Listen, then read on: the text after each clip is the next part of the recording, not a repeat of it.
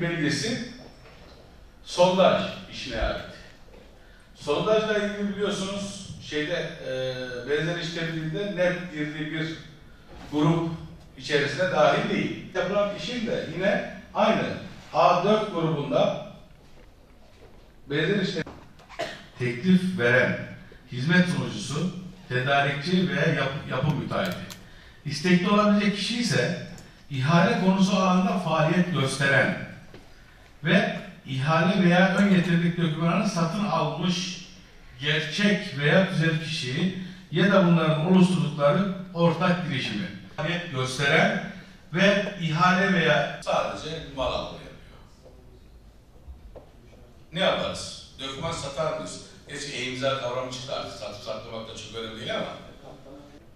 Yani biz iyi niyetli olarak bütün idareler şimdi e-imza çıktı aslında çok önem arz etmiyor belki.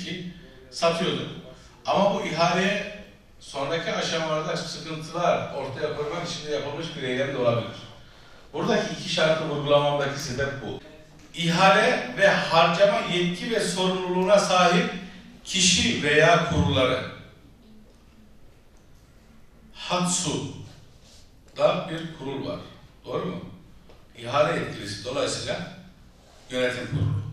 Yetki devrini verilir sınırlar dahilinde yapmadığı sürece öyle çalışan bir sistem vardır diye düşünüyorum.